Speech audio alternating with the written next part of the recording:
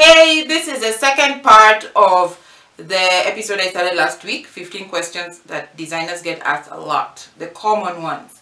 Today I'm going to go a bit deeper and tell, talk about my personal style, my work ethic, collaborations, and things like that. So there are only eight. So I hope you stick around to the end.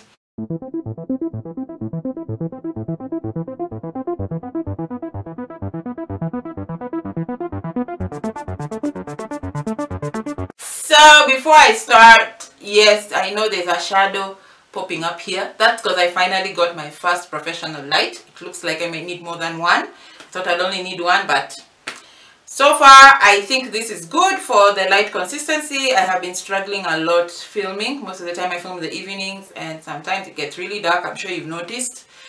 And I also just want to apologize. Last week the video was a bit grainy. I did not notice until I was editing and there was nothing I could do about it. I hope today's is clear. Sometimes it's very difficult for me to notice it while it's on camera. I notice more when I'm editing. So please bear with me and let's begin part 2. Thank you for being here. Welcome new subscribers. Let's start. Um, this question on work ethic, I think for me the most important thing to consider when you are in fashion as a designer is consistency.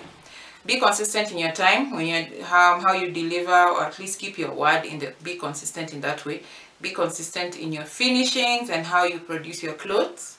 Of course different clothes have different finishing but have that consistency that people know what to expect. Also your communication and customer service and things like that. I know it's difficult sometimes to be consistent with that aspect because sometimes it involves other people that's not yourself. My advice would be definitely consider training and having a um, a set of rules that you operate within your company so that whoever you bring on board is trained to work the way you work basically a work culture in your workshop or in your store or in whatever it is you're running.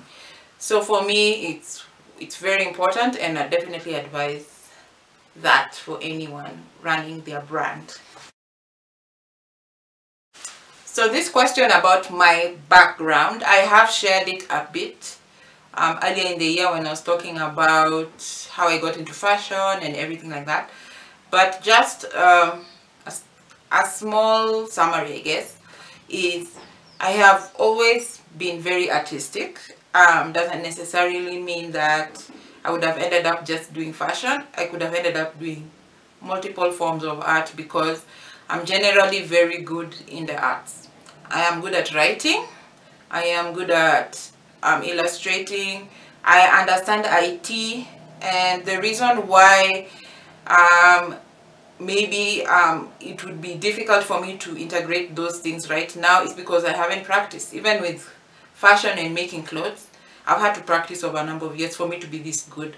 So for me, as much as I am very talented in other forms of art, I definitely need to put in the work and practice to make it excellent or to make it good. So that's a bit about my background as um, a young person trying to get into the art. So if you have a young person trying to figure out if they should get into the art, it's all about practice you don't expect that you're just going to be good just because you've tried it once and then you're good. There are very few people who are like that.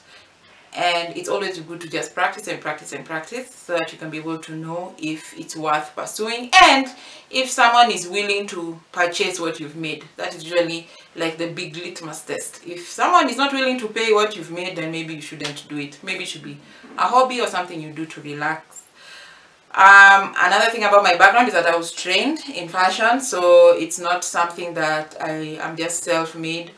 I always did a little bit of hand sewing here and there. Um, our school education required us to be able to know to sew, so I knew how to do a few things here and there. But being trained really helped me going to college, so I'm professionally trained to do this work.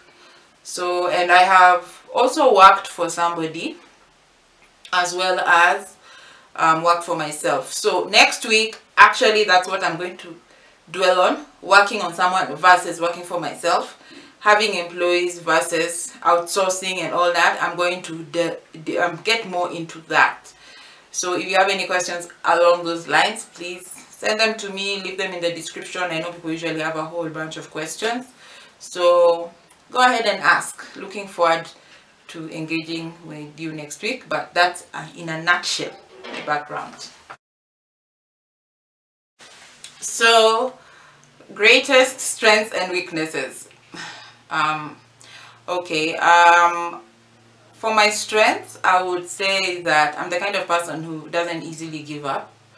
And that um, it means that even when i'm trying to do something i'm going to talk specifically about my line of work. Even when i'm trying to do something and i that is new i will usually push it to the point that i need to figure something out.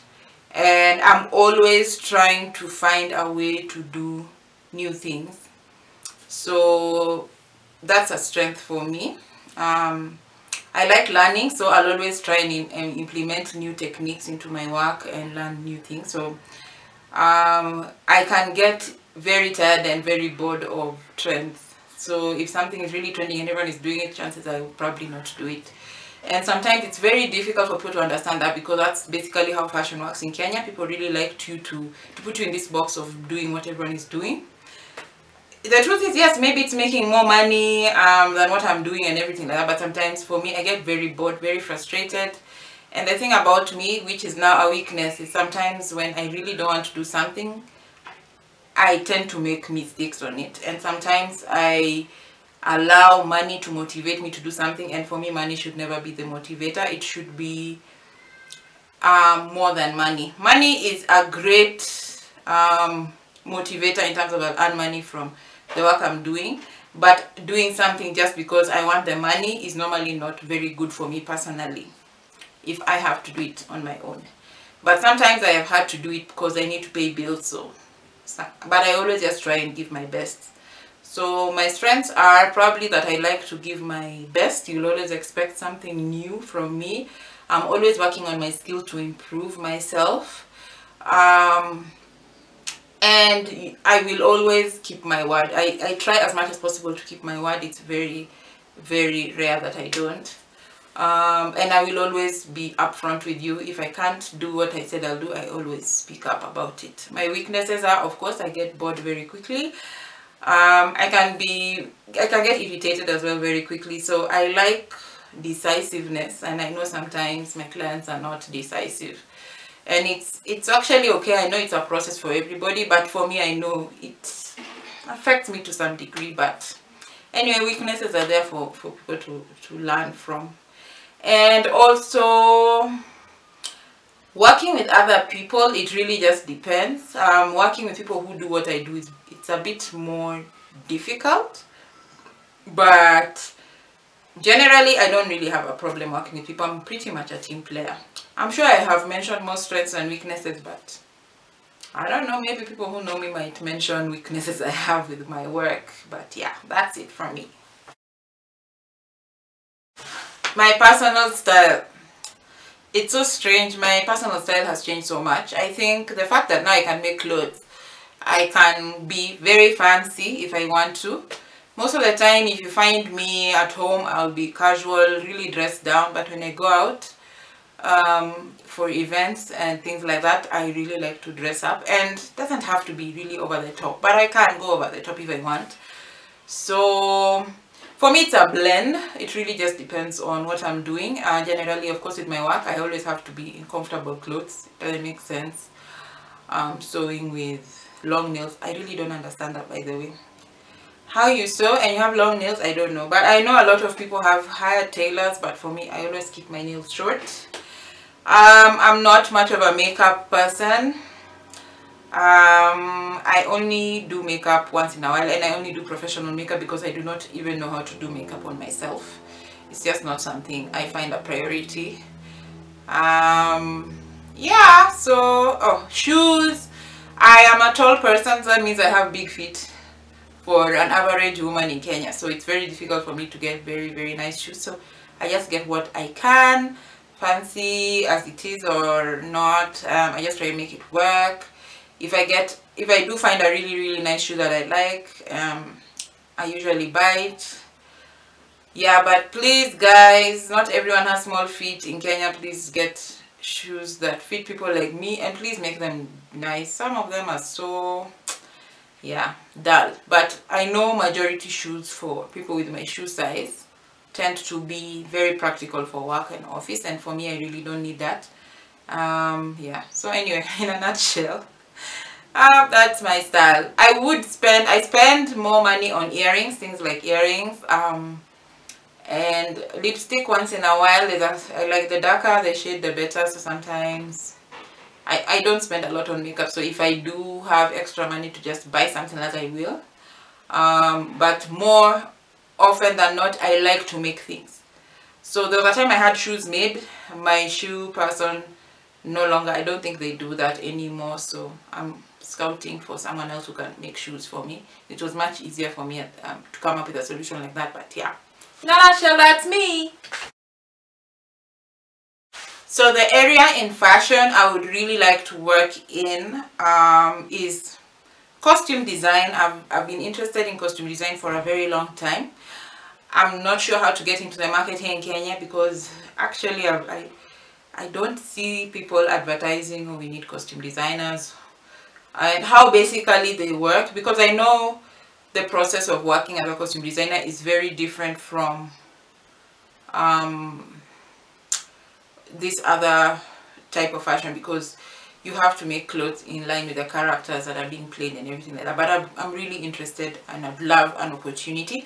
So if you're out there and you do acting and things like that it would be awesome. Preferably I would actually love to do costumes for music videos I think those would be more fun for me.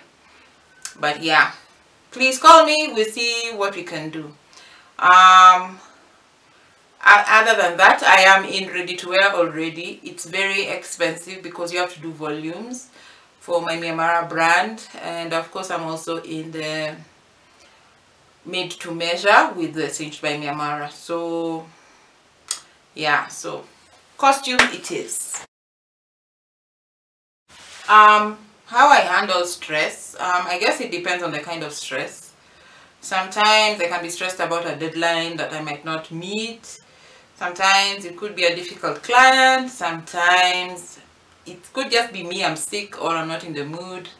So I handle it in different ways. Um, one thing I know is that I always have to be well rested. Rest is very important to me. I don't joke around my rest time. Um, if I need to push through a certain job at later on. I can go on holiday. I try to do holidays when I can afford it, but maybe once a year. Um, as I said rest is very important to me. So for me how well rested I am is good for how well I will work. So there's that. Um, generally um, the advice I would give to designers especially when you're doing consultations is to avoid a lot of mix-ups and all that. Always ensure that with every consultation you have someone with you in terms of a witness to be able to make sure that you have done your consultation in a way that you they, there will be no misunderstandings later. It's a way of reducing stress. If you do not have such a person then maybe you should consider doing a follow-up email or a follow-up message to break down what you agreed on with your client even before you start the work just just to avoid misunderstandings so sometimes just having processes and policies in your work um, how you in how you work really helps reduce stress especially in client um, relationships. Yeah. So same thing with your tailors. Sometimes they misunderstand and mess up and it becomes stressful and you have to repeat work and all that. Come up with policies and ways that you work to avoid all that because the truth is you cannot really grow if you keep doing everything yourself and you always have to start working with other people and delegating. So the more processes you have to make things smoother the better for you with your work. Yeah. So in a nutshell that's how I deal with stress. Um, as I said earlier I'm generally very good team player. Um, especially with people who do things that are different from me because I always feel like it's an environment where we can learn different things um, working with models working with photographers working with all that and I also do like sometimes getting opinions of the people I'm working with. Like if I'm working with a model, how does the outfit feel? Would you work with this? Would you buy something like this? Photographers, do you think this photo um, really represents the outfit well? So I can have my own ideas, but sometimes I also will just consult to see their professional opinion. And when I work with people collaboration, especially in collaborations, I always like it to be a collaboration, not a loner project and you just happen to be a supporting character. So I like to show that they're two different things. If you look at my very old photos, you will realize that there is no real standardization of the photos in terms of how they look because you can tell I work with different photographers and that is just because it was a collaboration. In my earlier days, it was I did a lot of collaborations with photographers that I can no longer afford.